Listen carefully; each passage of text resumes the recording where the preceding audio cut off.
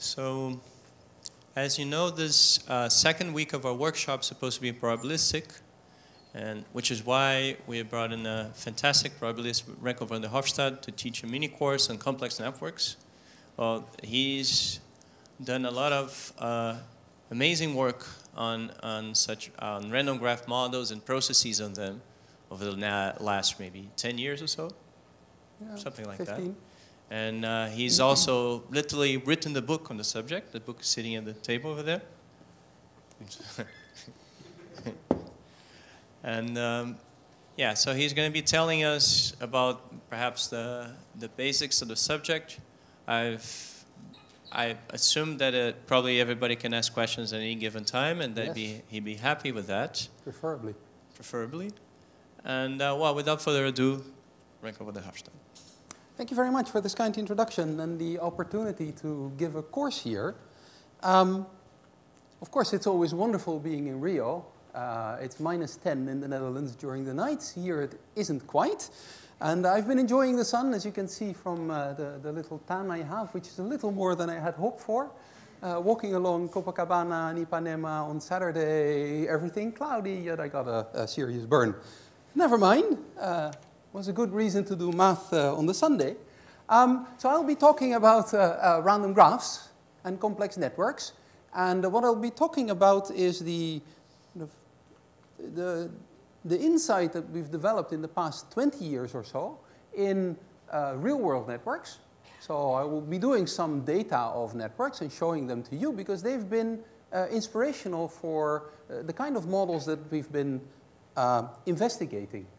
So just for myself to have a bit of a background guess, who knows what the Erdős-Rényi random graph is? Very good, I was assuming that. Who knows what the configuration model is? Okay, that's already a bit less. Who knows what the preferential attachment model is? Okay, very good. So I will introduce these models and I will describe some of their properties. So, of course, when you give a mini course, you should think about what you want to achieve. So what is the aim in these lectures? Well, of course I cannot describe the whole of the theory of random graphs for complex networks. That's way too much. But what I would like is that you go home after this course being able to read some of the crucial papers uh, that have been written in, in random graph theory so that you have some idea as to uh, what are the ideas behind the models, what are the properties of some of these models. And you know, if uh, research papers tend to go relatively quickly, you know, I hope to be able to give you some uh, a background on those that you'll be able to place uh, the theory a little bit. So that's my aim. Now, a course is not for me. I'm supposed to know what I'm teaching about, even though, you know, sometimes that's hard. Um, the course is for you. So if you have any questions along the way or special requests, you know, could you explain this or that? I mean, you know, I've run across this and never quite understood it. Drop a line. I think I have some freedom to do what is best for the audience. Okay, so what is my plan of lectures? I have three lectures, and here are three items. Now, these items are not going to be equally distributed, so it's not true that I'm going to be done with the real-world networks and random graph models for them today.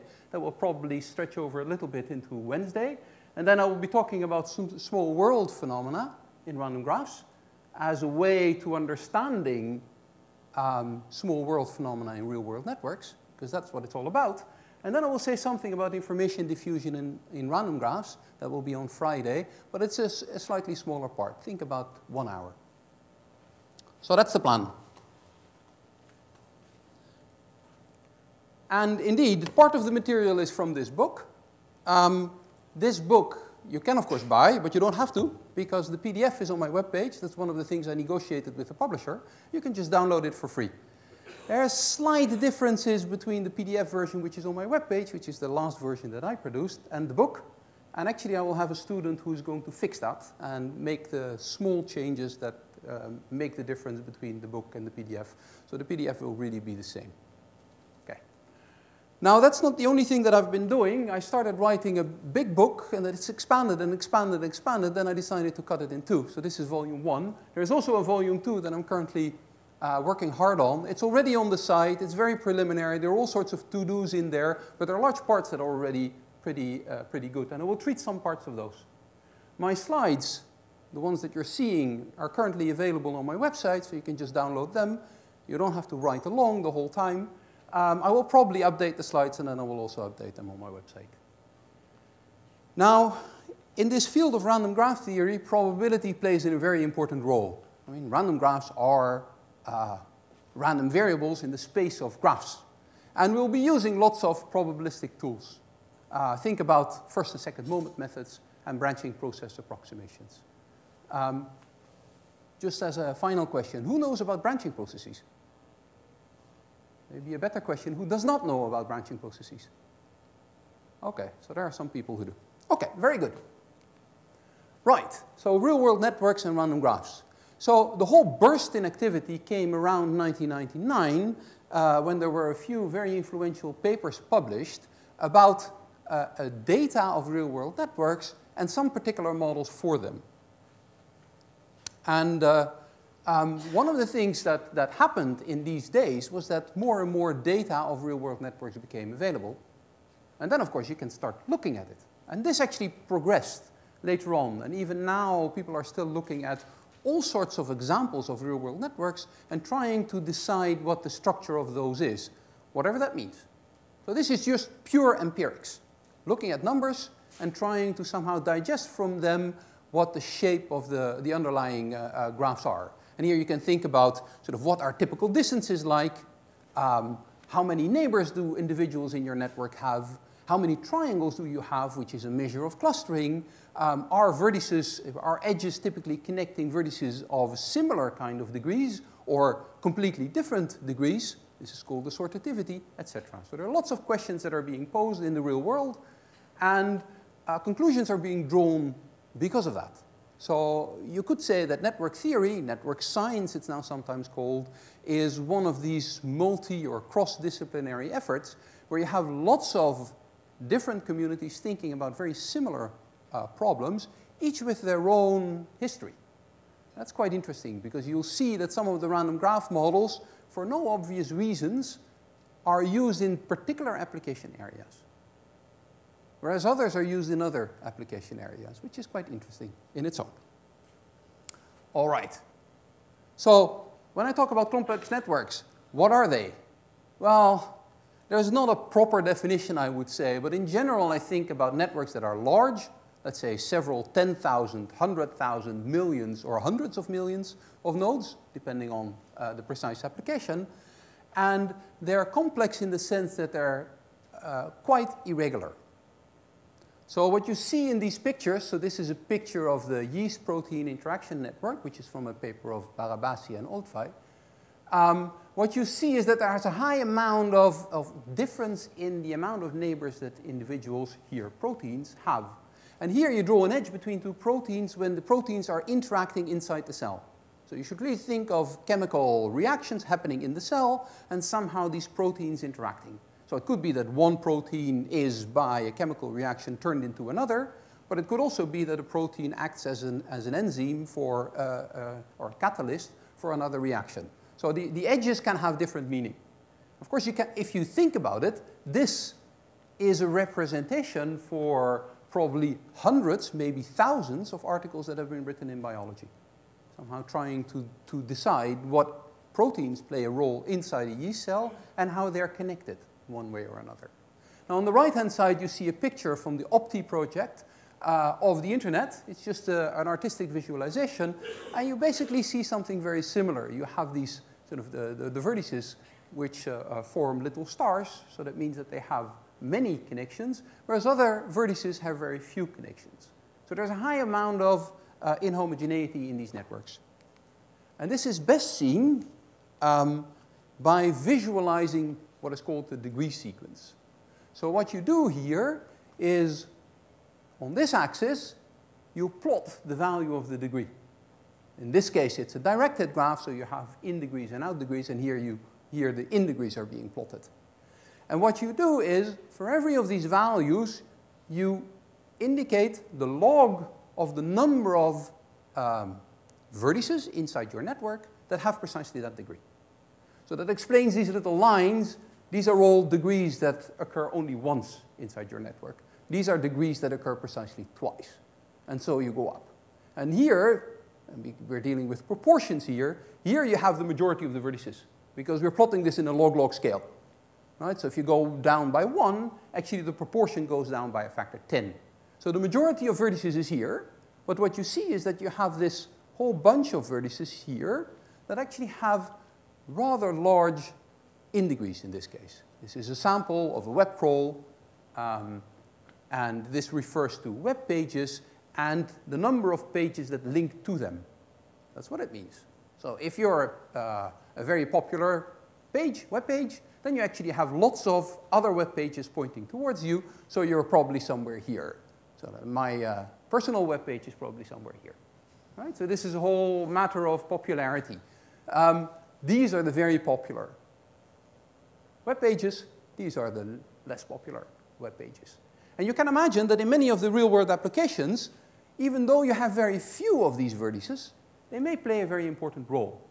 As an example, if you draw a similar picture for the degree distribution of mathematicians in the collaboration network, so you connect every mathematician to every other mathematician that he or she has ever written a paper with, then you see a very similar picture, and you have this one dot which is very far on the right. That's Paul Erdős.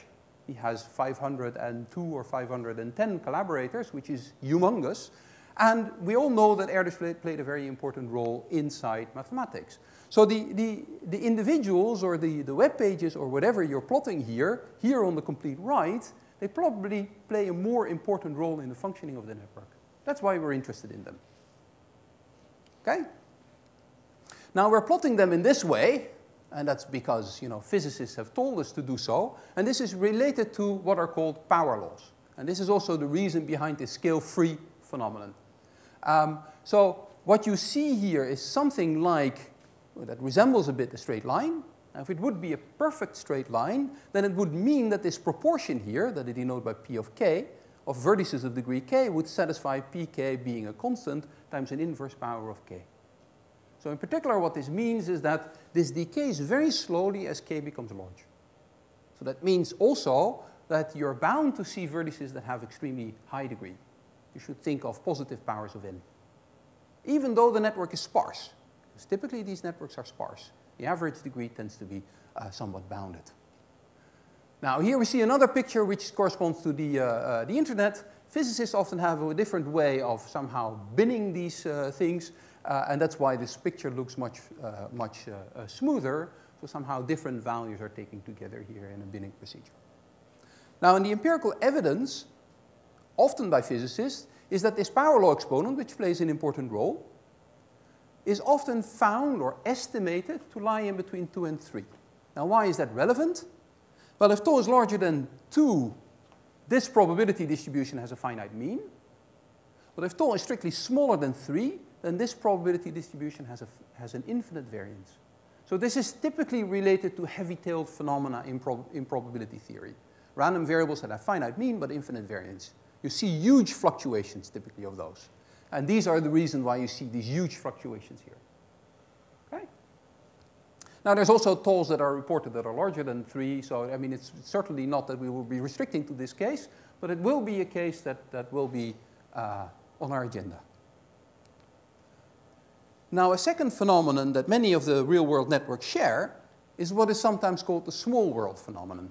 And small world phenomenon is nothing but uh, indicating that typical distances within this, uh, uh, these networks are relatively small, despite the fact that these networks themselves are extremely large. So suppose you're on a, a two-dimensional torus, which is very large. Then it will have width square root of n by square root of n, so typical distances will be of the order square root of n. Now, as n tends to infinity, n is a million, square root of n actually becomes sizable. Now here you see something quite different, so these are the distances within a strongly connected component of the World Wide Web. And here are the distances within the Internet Movie Database. These are all networks that are quite large. This is over a million. And yet you see that these distances are at most, well, seven or eight. I mean, here maybe 10. So distances really are very small, and you should not think of those as being a, an inverse power of the size of the network.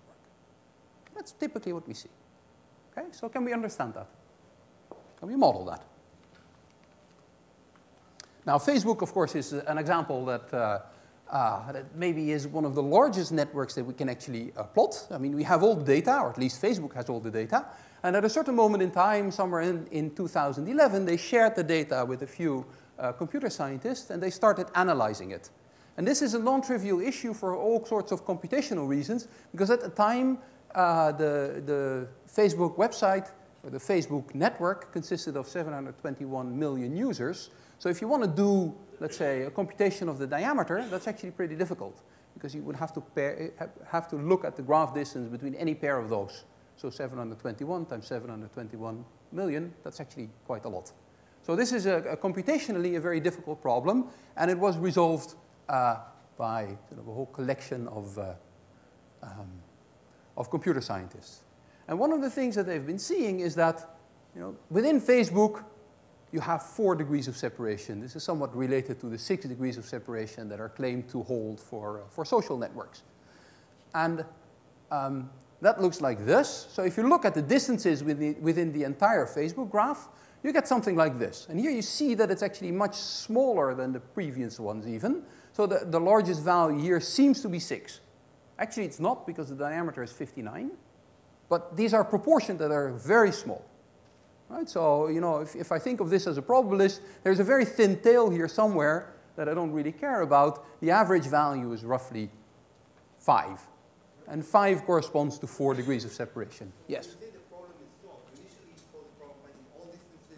what they have is average distance, which is very different. Ah, no, no, no, no, no. They actually computed the diameter. And that's a non-trivial computation. And you cannot really do that by looking at the graph distance between any pair of vertices. Uh, that's just way too much. You have to do that in a much more clever way. And actually, the, the, the, problem was an algorithmic problem using a clever algorithm. I think it's called hyperbol or something like that. Yeah. But for me, that's not relevant. I'm not so interested in, in diameters when I'm talking about uh, uh, distances, because diameters tend to be extremely sensitive to small perturbations of your graph. If I start with a graph and add a very long line to it, the diameter will change dramatically. But if the line is relatively small compared to the size of the network, actually my typical distances don't really change. So I'm looking for something that is a bit more robust. And these typical distances tend to be much more robust to small variations in the graph. Therefore, I've, i think of them as being a better way of representing the small world phenomenon. All right, so this is six degrees of separation, which comes from a play. And actually, in the play, the, uh, the main actor says the following uh, uh, quote. Everybody on this planet is separated only by six other people. Six degrees of separation between us and everybody else on this planet. The President of the United States, a gondolier in Venice.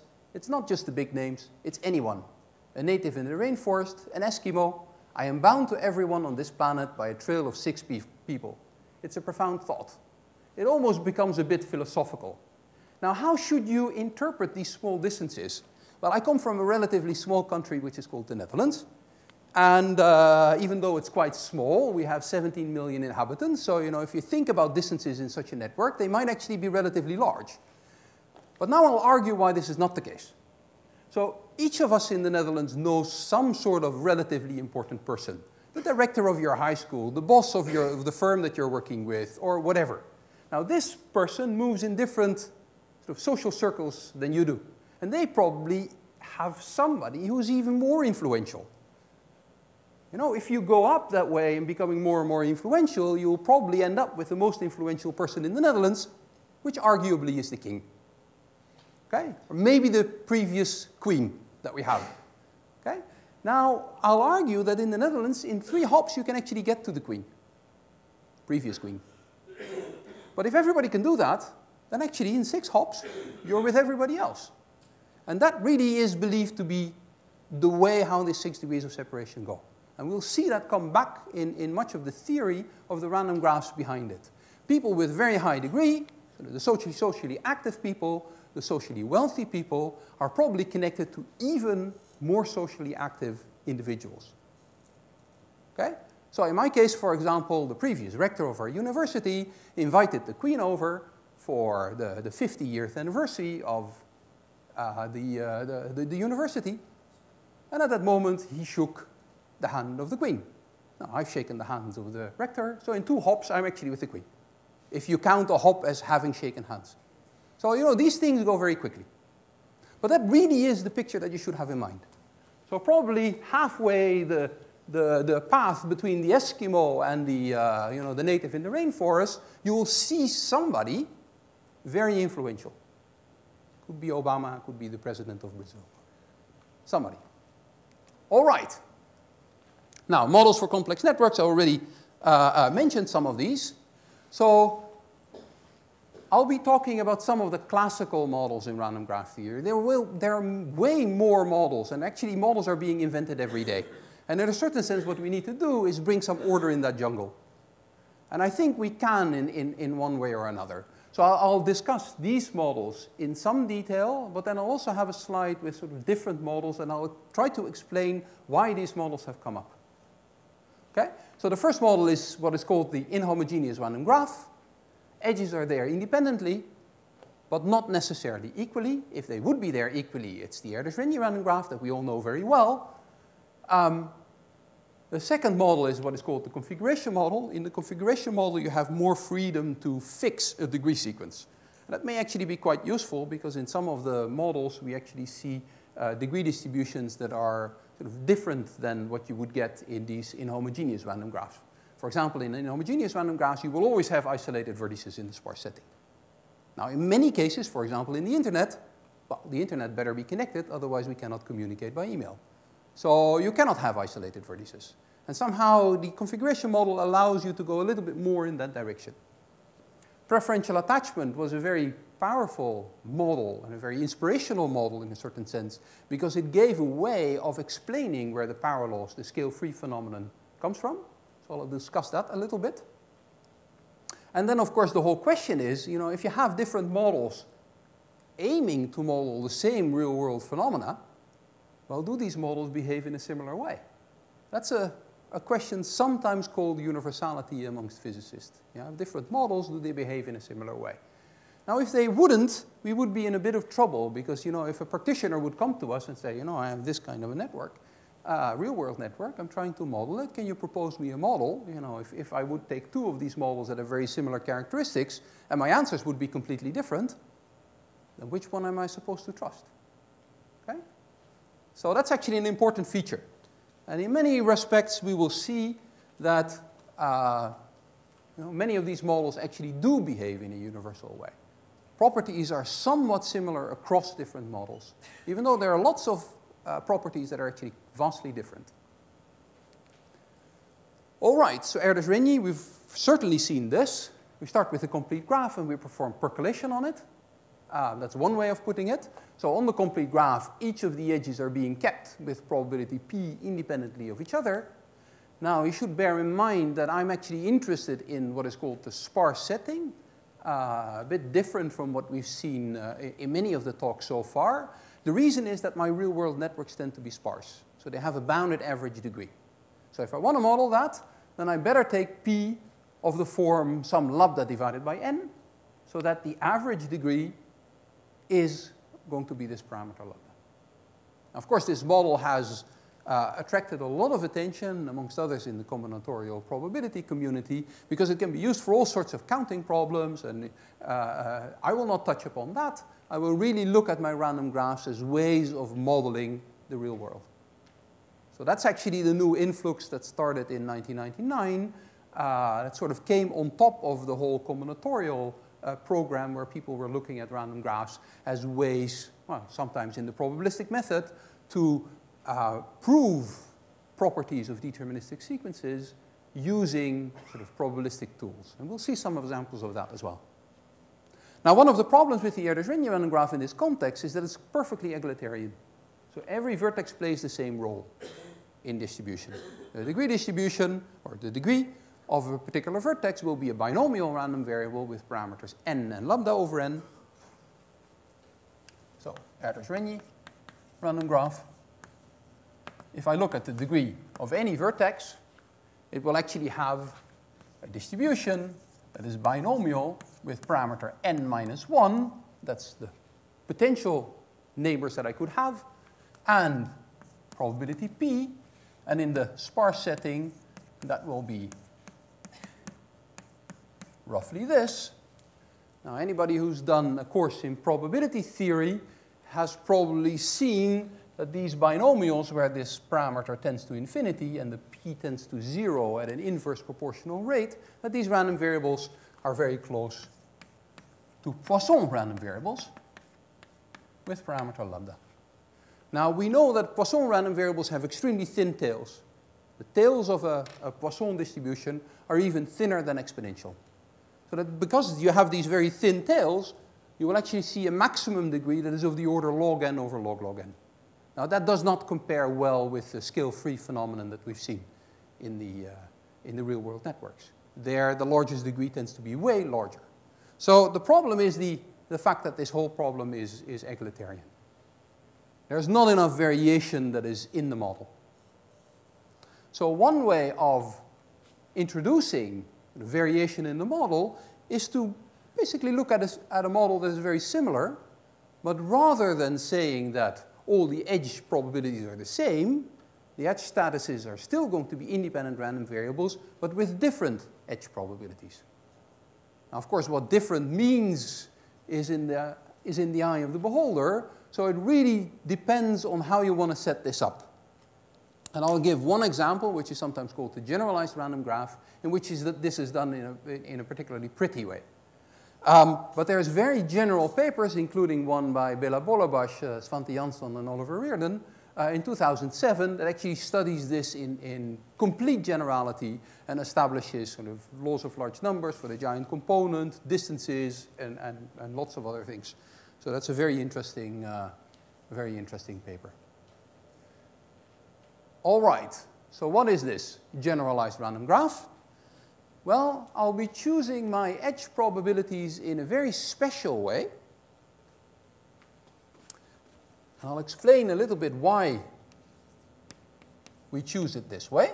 So I have a network of size n, and then I have some sequence of weights that are associated to the vertices. So vertex i receives the weight wi. And then the edges are all independent random variables, but the edge probabilities are moderated by the weights. And they're moderated in such a way that the edge between i and j is there with probability wi, wj divided by a certain normalization. In this case, it's convenient to choose this. And here ln is the sum of the weights.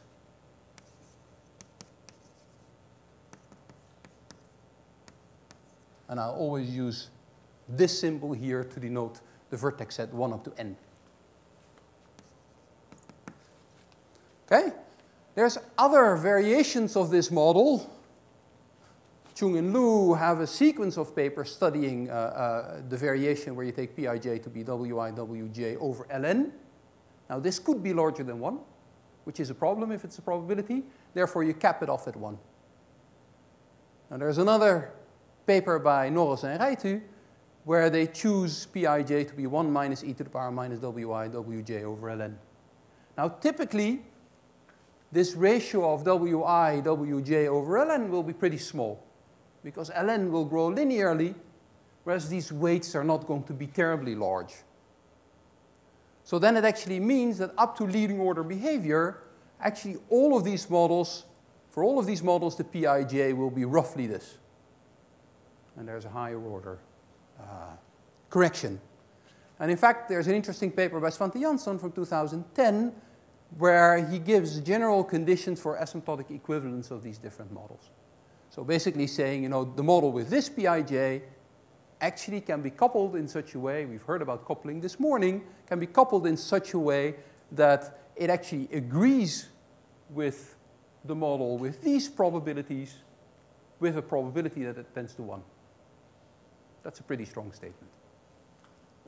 All right, now, sometimes this model call is called the random graph with prescribed expected degrees. And the reason for that is that uh, you can think of this wi here as being very close to the expectation of the degree of vertex i. Now, why is that? Well, if I look at the expected degree of vertex i, Well, that's nothing but the sum over j unequal to i of pij. Because this will be the expected number of edges that, you, that are going to be there. This is the probability that edge ij is there. Now, if I just assume that pij is roughly wi wj over ln, that ln, like for all of these three models, then what you're going to get is that this is roughly the sum over j unequal to i, wi wj divided by ln. Now, if these numbers are all relatively small, I might as well forget about this. Because this one contribution is going to vanish compared to the sum of all of them. And then actually what I get is a sum of the w's, which is going to cancel the ln, and this will be wi. So basically what you should bear in mind is that the degree of vertex i will be very close to a Poissonian random variable with parameter wi. So di is going to be approximately a Poisson random variable with parameter wi. Now, by varying these wi's rather substantially, you can get that these degrees actually vary quite a bit.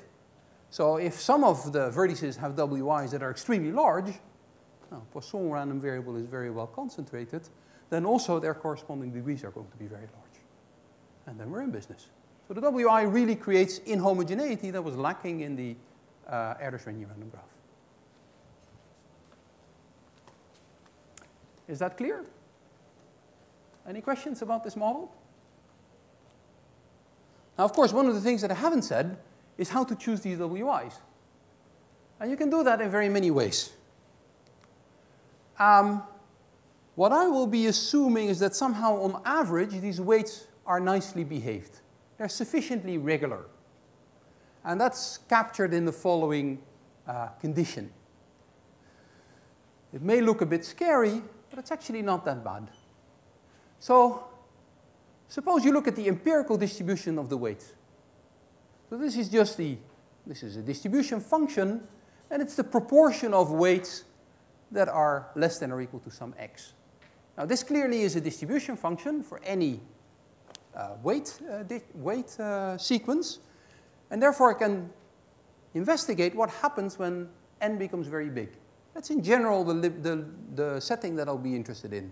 I'll take a limit of n tending to infinity. My networks become larger and larger. Now, of course, when the network becomes larger and larger, we would like to see some sort of stability. For example, if you think about the Erdős-Rényi random graph, you would have to take wi to be this, and if n tends to infinity, this indeed converges to lambda. So this is very nicely and regular. Now, in general, what I would like is that this distribution function converges to some limiting distribution function, and that's the same thing as saying that a random variable with that distribution function converges in distribution to some limiting random variable. So this is basically saying that the weights on average don't grow too quickly. Now, in, in, in probability theory, we know that when you have a sequence that satisfies some now a nice uh, uh, tightness, then actually along subsequences you will find a converging subsequence. So actually, you can think of this as occurring, for example, when the average, the average weight remains bounded. Maybe you'll have to go along a subsequence, but who cares? So in some other instances, we need a little bit more regularity. So if I have this random variable converging in distribution to some limiting random variable, then sometimes it will be true that also some of the moments will converge along. In fact, we'll only be interested in two moments. So the first moment converging to the first moment of this limiting random variable, and that will actually imply that the average weight of a vertex will remain bounded, and it will actually converge to this number. So this basically enforces sparseness of my network. Okay? And the fact that this is strictly positive is to ensure that somehow the, the limiting graph is not completely empty, which is not a very interesting setting. And sometimes we'll also need that the second moment converges. Not always, but that's why I've put it here as, a, as an assumption. So these are just somehow saying that your weights are sufficiently nice. So how could we achieve that? Well, as a probabilist, one of the things that you could do is you could take your weights to be IID random variables, completely independently of the random graph involved. And then, if I look at this, this will be Glivenko-Cantelli, the empirical distribution of a sequence of IID random variables converges to the limiting random variable. This is the law of large numbers. The average of your IID random variables will converge to the mean. And this would be the law of large numbers for the second moment of your random variables. So this is all very well covered in, in probability theory. And that's, uh, that's certainly a setting that you could have in the back of your mind. Now, the nice thing about taking these W's to be IID is that the graph is somehow exchangeable again. Every vertex in distribution plays the same role. The difficulty is that you have double randomness. And if you average out over the weights and over the edges, the edges are no longer going to be independent random variables. In fact, they're going to be positively correlated. So this is a setting that, you know, okay, it's, it's very interesting, but I tend to try to avoid it. Uh, so instead, I just think of my WIs as being deterministic, satisfying my three hypotheses. And one way of doing that is by taking your WIs to be some function of I over N.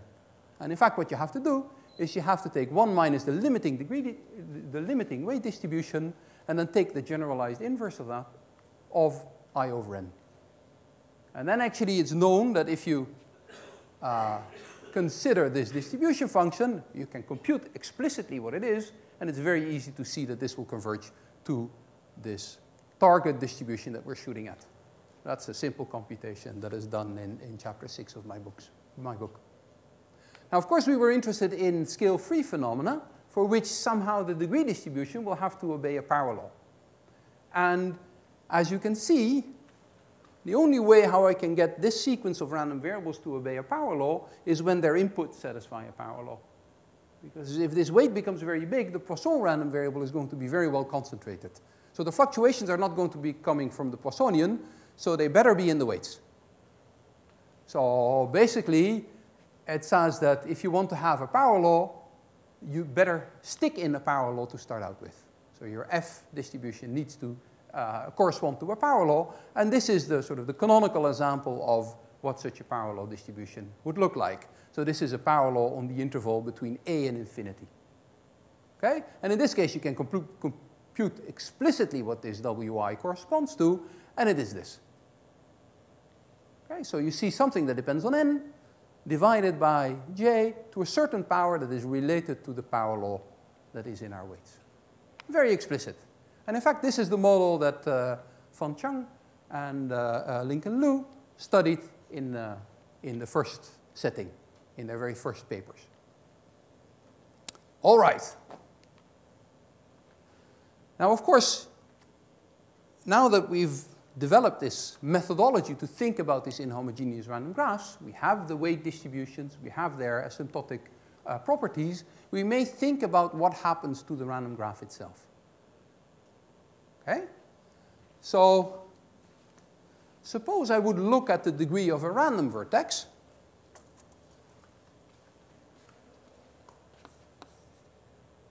Let's say that Vn is a uniform vertex in between 1 and n. Now if I just stick this in, then I'm going to be getting that this should be very close to a Poisson random variable with the weight of a random individual. Now, if you think a little bit about this, this W of Vn actually has the same distribution as my Wn, which has distribution function Fn. Okay? Because what is my Fn? Here, well, it actually is described by the weight of a random individual, because I'm dividing here through by 1 over n, and I'm summing out over all of the weights, over all of the vertices. So that means that the random variable that has this distribution function is nothing but the weight of a uniform individual. And that's precisely what this is. Okay? So if we assume that this condition holds, so condition 1, 6, 3, A, well that will imply that Wn converges in distribution to W. But then if I look at this random variable, I just have a Poisson with a parameter that converges in distribution. Well, such a random variable also converges in distribution, and this will converge to a Poisson random variable with a random parameter. So this is sometimes called a mixed Poisson distribution. Mixed because we're taking its parameter here to be random. Okay? So this is suggestive in saying that if I were to draw a vertex uniformly at random from my graph and inspect its degree, that the distribution of that degree is very close to a Poisson random variable with its mixing distribution. But actually, a property is true that is a bit stronger. Namely, if I look at the proportion of vertices that have degree k, that proportion, which is a random variable, because all my degrees are random variables, that probability will converge in probability under my model to a limiting random variable, limiting probability, which is precisely the probability that this Poisson random variable with a random parameter is equal to k. So, Poisson distribution, e to the power minus lambda, lambda to the power k divided by k factorial, but now you should replace lambda by w because w is random. And that's precisely what this says. Okay? And it's not very hard to see that if you want to have a, let's say, a power law for this limiting thing, you better start out with a power law for your weight distribution itself. So this basically tells us that power laws of the degree distribution come hand in hand with power laws of the weight distribution. Is this clear? Is this stuff about Poisson random variables clear?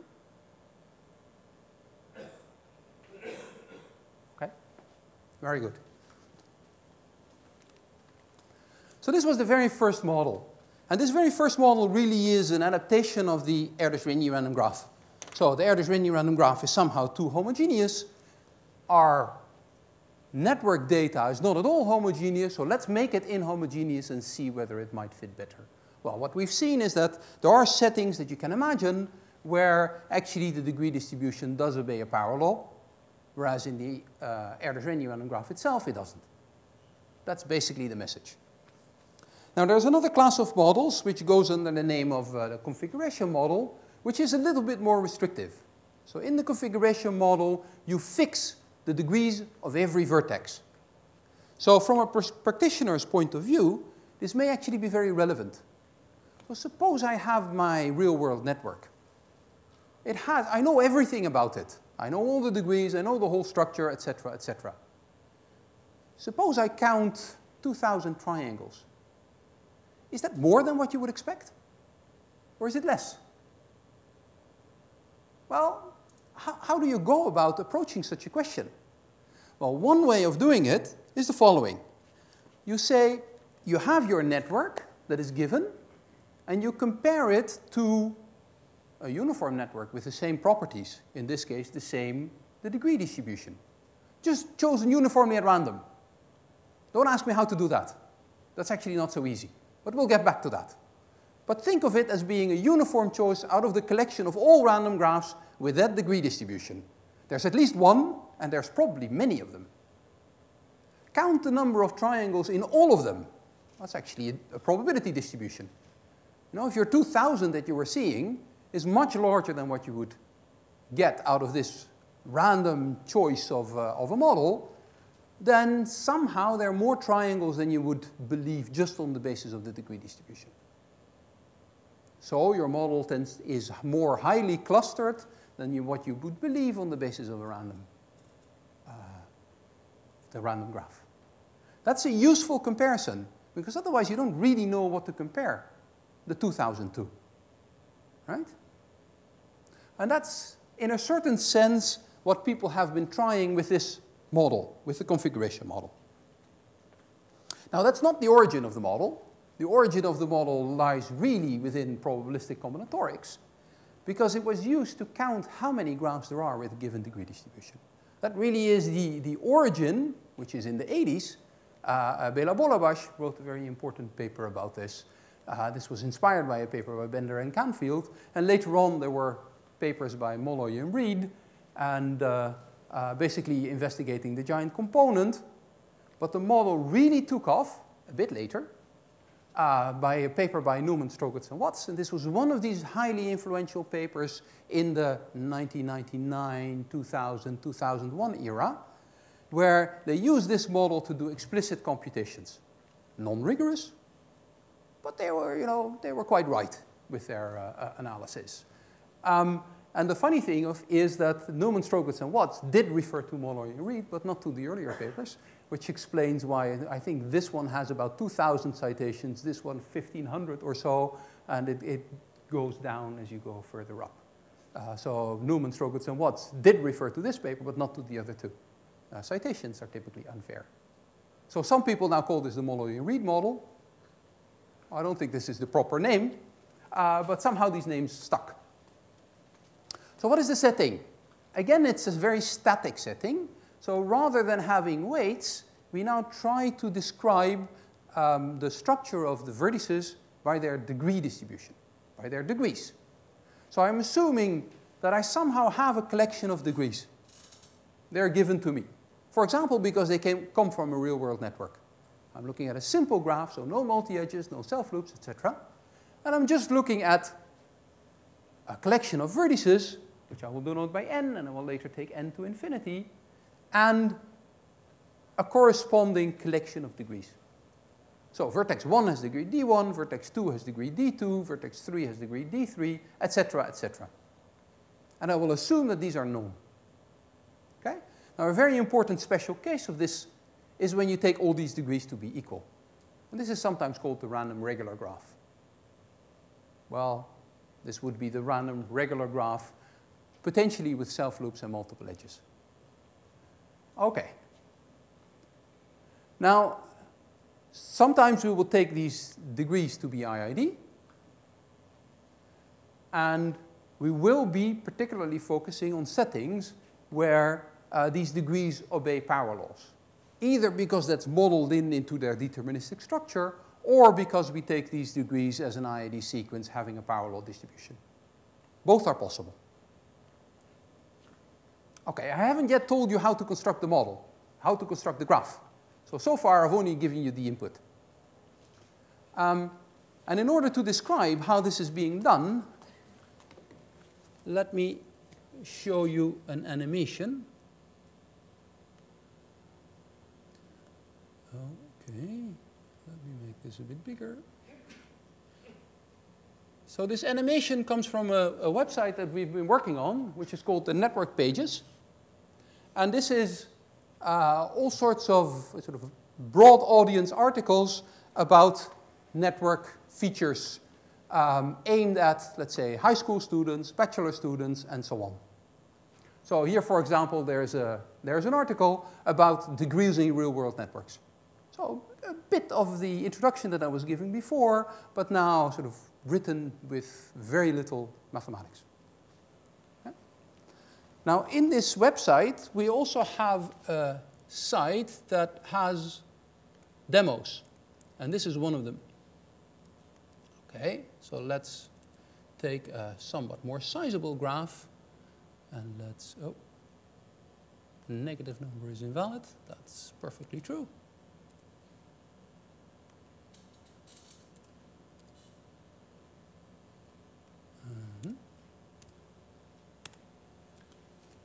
Okay, so it may be a little difficult to see, but what, mm, let's make the graph a bit smaller, then you can e more easily see this. Okay, so what you see here is that vertices have these little spokes coming out of them.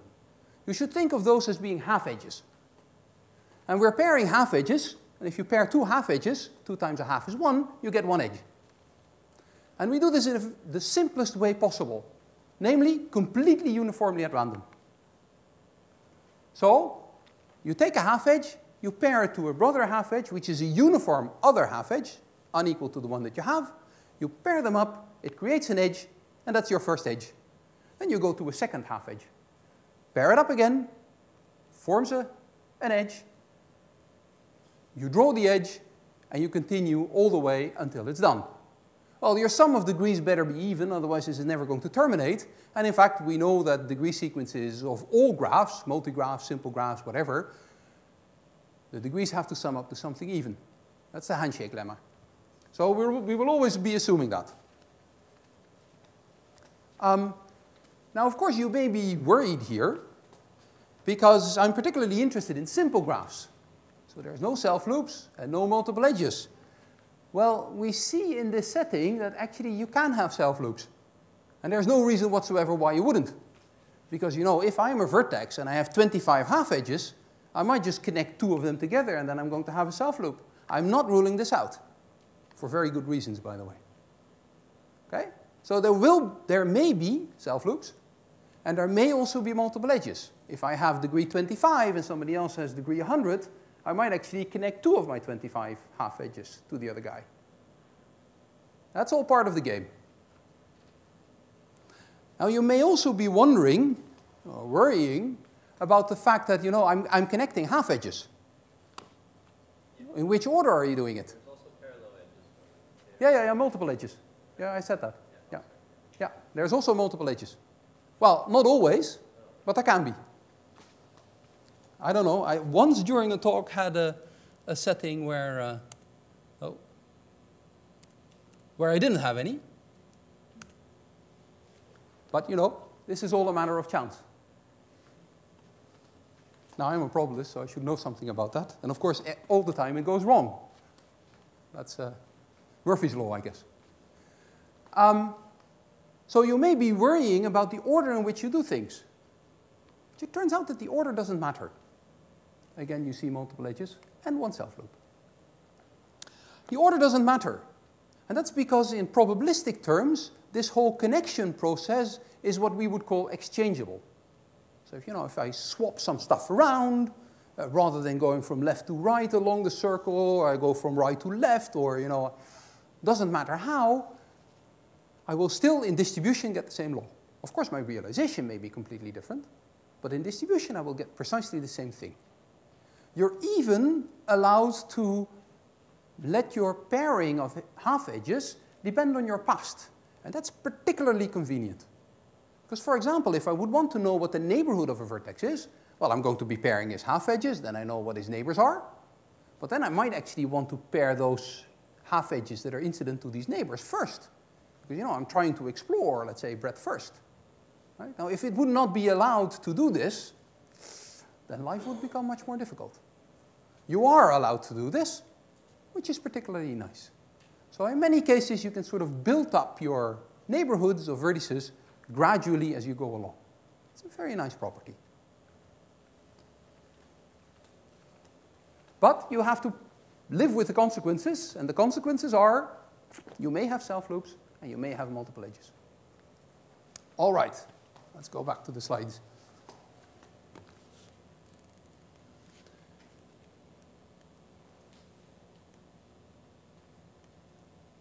Okay, so that was the model.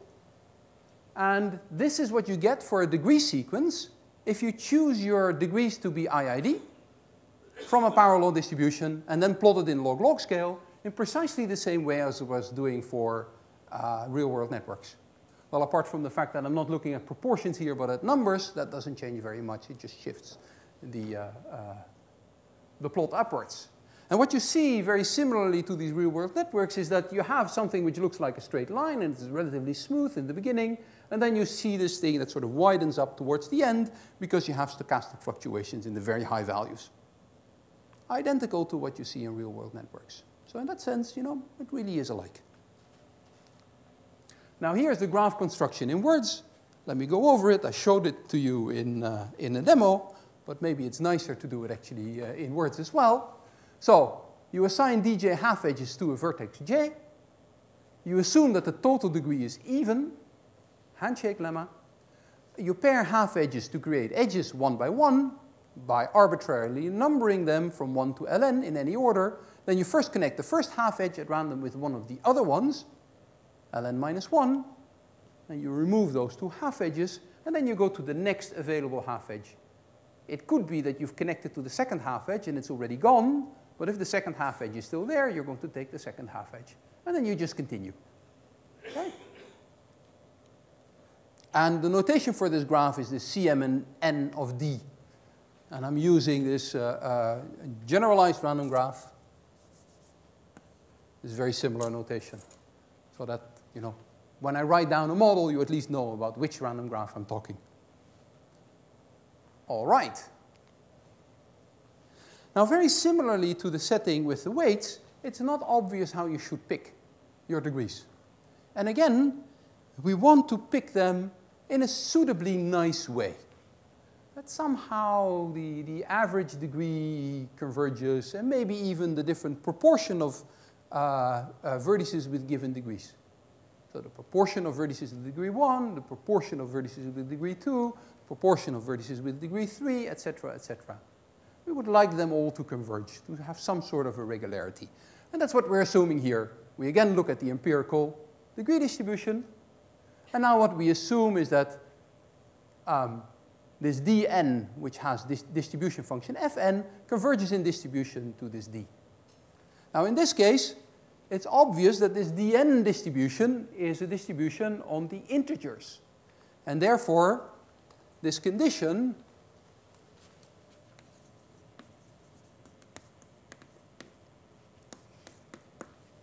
i dot 7.5 is equivalent to saying that the probability that dn is equal to k converges to the probability that d is k.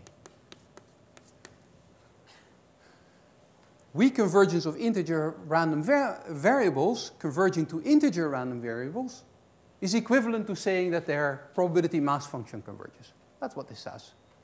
Now, if I want to translate this in terms of graph properties, this is the same thing as saying that n of k divided by n, where n of k is the number of vertices for which the degree is equal to k. If I divide that through by n, that this will converge to some limiting degree distribution, whose, whose, uh, who we write as a random variable capital D. Okay? In the second assumption, we're going to be assuming that the average degree converges. And in the third assumption, we're going to assume that the second moment of the degrees converges. Very similar to the, the regularity conditions for the weights. Okay. Um, now that I've given the introduction of the configuration model, I've basically been talking for an hour. I think it's a good idea to have a small break of a quarter of an hour, and then I will resume uh, telling you some properties of this configuration model and the reason why it can actually be used to compute things. Unless there are questions, of course.